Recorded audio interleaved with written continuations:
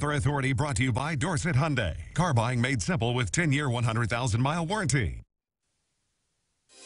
Now, your local weather authority with Chief Meteorologist Jesse Walker.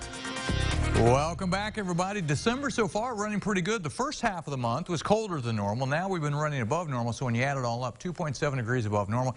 Going to stay above normal for a while. We think we may turn back to a colder pattern late month and we get into early January. But until then, enjoy it. As a matter of fact, tomorrow may be the warmest day.